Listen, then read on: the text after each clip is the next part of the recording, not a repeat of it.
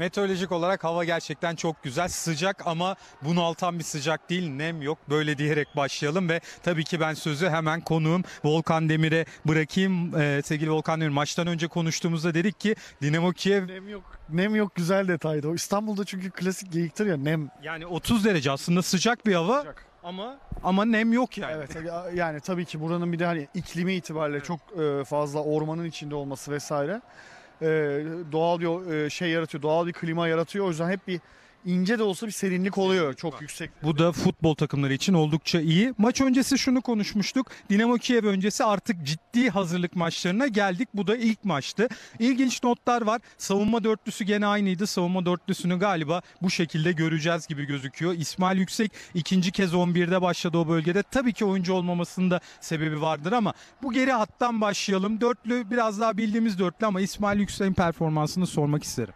Ya e, arka beşli tamam öndeki beşli aranıyor diyebiliriz. Fenerbahçe'nin durumuna tam olarak.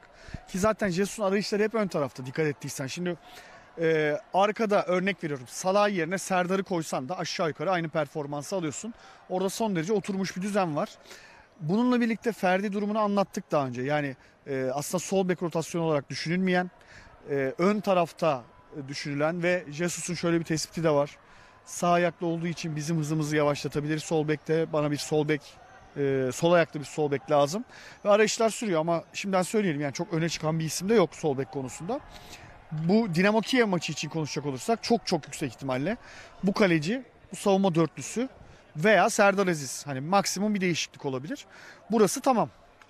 Önü sıkıntı. Crespo sakattı gelmedi. Gustavo sakattı gelmedi. Mert Hakan geldi. Bugün geri döndü. Sakatlı yani e, tedavisini yaptırmak için. E, Zayt e, geç gelenlerden bir tanesi. Çok hazır değil. Yine takımın en iyilerinden biri ama çok hazır değil. Bir süreç lazım. E, Lincoln takıma alışmaya çalışıyor ki bugün sağ önde oynadı ve e, sürpriz yumurtadan çıkar gibi bir İsmail Yüksek çıktı. Bugün ben performansını çok beğendim. Tribünde, tribünde senle beraber izledik. Yani aynı anda hem Jesus'u hem İsmail'i görebildiğimiz için çok net e, Jesus'un fikrini de edinmişizdir diye düşünüyorum. En çok iki maçta en çok diyalog kurdu oyuncu. Olumlu olumsuz. Evet. Yani ama bu, bu, bu akşam ben hep olumlu gördüm. Yaptığı hareketleri hep İlk başta bir iki olumsuz vardı. Evet evet yaptığı hareketleri hep alkışladı. İşte ön alan baskısını e, teknik heyetine dönerek öven e, görüntüler yaptı. E, açıkçası beni şaşırttı. İsmail Yüksek'in performansı şaşırtmadı. Jesus'un bu kadar e, İsmail'i sahiplenmesi biraz şaşırttı. Ama görünen o ki e, İsmail ki zaten hani diğer oyuncular daha dönecek. Bir süre daha A takım rotasyonunda, orta saha rotasyonunda yer almaya devam edecek.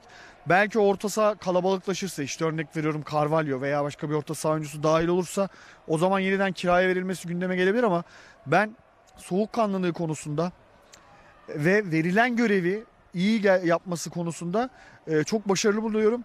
Şimdi böyle e, ince bir yapısı var. Biraz böyle e, şey gibi duruyor. Çelimsiz gibi duruyor. Ama uzun boylu. Hava toplarına hakim. Hatta bir tane kornerde vur- vurmaya çalıştı. Ee, yani duran toplarda da silah olabilecek bir oyuncu. Enteresan özellikleri var. Bunu daha önce şöyle ifade etmiştim. Bizim milli takımda da orası boş. Ya Okay'ı oynatıyoruz memnun kalmıyoruz. İşte Ozan zaman zaman oynuyor zaman zaman oynayamıyor vesaire. Ee, denemeler yapıyoruz orada sürekli. Ee, milli takım için bile hani düzenli bir sezon geçirse Süper Lig'de Fenerbahçe'de veya iyi bir Süper Lig takımında milli takım için de aday oyuncu haline gelebilir. İlginç özellikleri var çünkü. Jesus da bunu fark etmiş olacak ki e, İsmail ile alakalı epey üzerinde duruyor. Senin de ifade ettiğin gibi. E, onun dışında bahsedebileceğimiz Fenerbahçe'nin ön tarafıyla alakalı e, ciddi bir uyumsuzluk olduğunu söyleyebilirim. Yani aslında oyun kötü değil. Oyun iyi. Ama ön taraftaki uyumsuzluk çok fazla bireysel yani bireysel pas hatası demeyeceğim. O biraz anlatım bozukluğu olabiliyor. E, basit top kaybı, çok kolay top kaybı. Fenerbahçe'nin aslında çok baskın olan oyununu sanki hiçbir şey üretmiyormuş gibi gösteriyor. E, bence buranın çözülmesi lazım. Buranın çözümlenmesi lazım. Şu ana kadar Buruma'nın e, dördüncü maç oldu bu değil mi? Dördüncü maç itibariyle çözüm olabilecek bir ışık almadım ben. Bilmiyorum izleyenlerimiz ne der. Tabii ki onlar da maçları izliyor. Herkesin kendi fikri. Ee, şu ana kadar benim gördüğüm çok fazla top kaybediyor. Yapmak istiyor. Çok fazla yapmak istiyor ama e, istediğini yapamıyor. E, o havayı yakalayabilmiş değil açıkçası. Ama Buruma tabii ki değişik bir oyuncu. Ö- farklı özellikleri olan bir oyuncu. O havayı yakalarsa çok takımı farklı bir yere taşıyabilecek bir oyuncu potansiyeli olduğunu da biliyoruz. Şimdi e, biraz sabretmek lazım. Jesus da sabrediyor, oynatıyor. Lincoln 4 maç içinde bugün performansının hani en iyisi değildi diyebilirim 4 maç içerisinde. Farklı bir noktada oynadı. Evet sağ önde oynadı. Ee, biraz fazla top kaybı yaptı önceki maçlara oranla. Ee, o bölgenin sanki ona en uygun olmayan bölge olduğunu gördük bugün. Sol önde oynadı başarılı oldu. Orta sahada oynadı başarılı oldu. Sağ ön sanki tam ona uygun bir e, yer değil gibi. Buna rağmen ama pas oyununda yani buna çok yatkın bir oyuncu olduğu için sol ayağı çok temiz. işte hareketli, çok hareket ediyor. Ee, buna rağmen o kısa paslarıyla hızlıca takıma adapte olabiliyor, uyum sağlayabiliyor. Ee, yani kalitesini gösteriyor. Ee, bence Jesus'un kolay kolay Lincoln'den ilk 11'de tabii ki rotasyonlar olabilir, değişebilir ama e, kolay kolay ilk 11'de Lincoln'den vazgeçeceğini sanmıyorum açıkçası. Evet stüdyodan da galiba bizlere soru olacak. Volkan Demir'le birlikteyiz. Fenerbahçe Partizan'ı 1-0 yendi ve biz de maç sonrası değerlendirmelerini alıyoruz kendisinin. Stüdyodan soru varsa onları da ben iletebilirim kendisine. Selim şimdi transfere dair tabii ki sorularımız olacak biraz sonra ama özellikle Emre Mor'u da merak ediyoruz. Emre Mor nasıl bir performans sergiledi? Sizin gözlemleriniz nelerdir? Biraz da onunla ilgili değerlendirme alabilir miyiz? Evet ben e, ben de aslında bunu sormayı düşünüyordum. Emre Mor bugün ilk kez girdi. Aslında Buruma'nın e, Buruma ile beraber oynayacak, farklı oynayacak ama o bölgede ikisi biraz da rekabetli olacak. Tabii ki e, bundan da bahsetmek gerekiyor. Emre Mor'un bugünkü e, yaklaşık 25 dakikası ve e, transfer hakkında neler söylemek istersin? transferi mantıklı. Ona itiraz etmem. Ama bugün e, Emre Mor'un Fenerbahçe'ye vereceği katkılar hakkında fikir oluşturabilmek için çok kısa bir süre, e, sahada vardı. Bununla birlikte e, çok az da topla, buluş, topla buluştu aslında. Çok fazla topla buluşamadı. Ama e, az da olsa topla buluşmalarını tribünleri ayağa kaldırmayı başardı. Yani Volkan Demirel'in lafı geliyor aklıma. Doğru idare edilirse Kadıköy'ü ayağa kaldırır dedi. Ama bunun bir de tersi var biliyorsun. Orayı tabii söylemek istemiyorum. Yani doğru idare, çağırmayalım. doğru idare edilmezse sıkıntı yaratabilecek bir oyuncu olduğunu hepimiz biliyoruz zaten. Gizlemeye gerek yok. Arda girdikten sonra özellikle o ikisinin birlikte böyle alverleri falan böyle inanılmaz insanları burada mest etti. Tabii ki ekran başında izleyenleri de mest etmiştir. Şöyle bağırdılar o paslaşmadan sonra çıldır diye bağırmaya Evet. başladılar yani. Yani bayağı çıldırttılar tribünleri. Ee, bir de bu tabii burası biraz hani mikro Kadıköy gibi düşünelim. Daha az sayıda e, Fenerbahçe taraftarı var. Çok coşkululardı ama daha az sayıda. Hani aynı coşkuda 50 bin kişinin olduğu bir statta hem Arda hem Emre Mor e, tribünleri ayağa kaldıracak e, potansiyeller. İlk 11 için yani ön tarafı ben hiç kestiremiyorum ya. Yani şimdi Lincoln var. Forvet'ten hiç bahsetmedim. Vo- Rossi var, Bruma var ve Pelkas var. Pelkas da bugün fena değildi. İrfan Can var.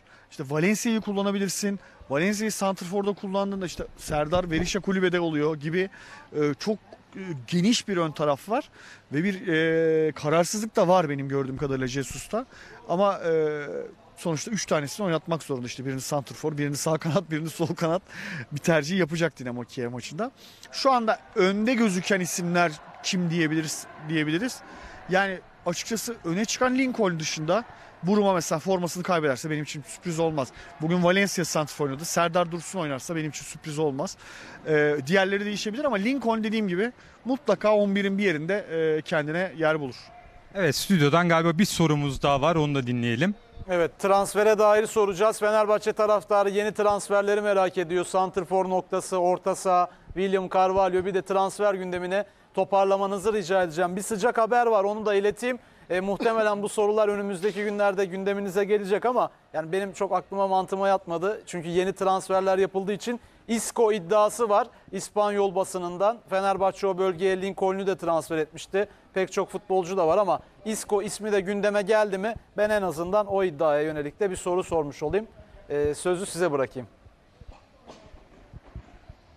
Ee, sevgili Koray Bolu, Isco kısmına ben bahsedeyim. Transferle ilgili bir soru sana yönelteceğim ama Isco ile ilgili çok ciddi bir girişim olmadığını, Fenerbahçe'nin e, oyun yani o bölgede e, yeni bir takviyeden önce ön libero mevkisine odaklandığını söyleyebiliriz. En azından bendeki bilgiler bu noktada. Tabii Carvalho ismi çok fazla geçiyor. Neler söylemek istersin? Transfer, forvet transferi, bek transferi. Yani öne çıkan bir isim yok. Benim en, en azından benim duyduğum kadarıyla yok. Sol bek arayışı var. 6 numara arayışı var. Santrfor mesela Santrfor'la ilgili şu anda somut adım atılıyor ben emin değilim. Onunla ilgili net bir yanıt alamıyoruz. Jesus istemiyor deniyor. Jesus istiyor aslında öyle şey olur mu filan deniyor. Benim duyduğum en sağlıklı olarak değerlendirebileceğim du- duyum şu- ya da bilgi şuydu. Ee, sol bek ve 6 numarayı alalım. Bunları tamamladıktan sonra Santrfor'a odaklanalım, yoğunlaşalım gibi bir e, stratejisi vardı Jesus'un ama bundan sonrası için ne olur bilmiyorum. Ya açıkçası Santrfor problemi takım oynadıktan sonra mesela geçen sezon ikinci yarısı için Santrfor probleminden bahsedebilir misin? Edemezsin. Yani takım oynadıktan sonra çok Santrfor da Serdar Dursun da atıyor yani gayet başarılı oldu.